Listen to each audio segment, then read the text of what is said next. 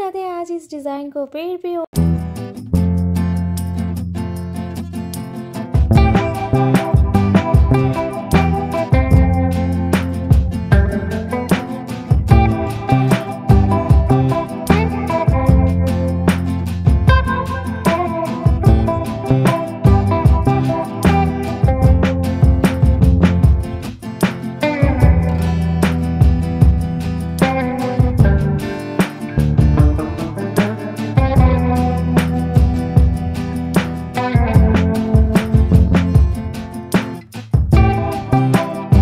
Thank you.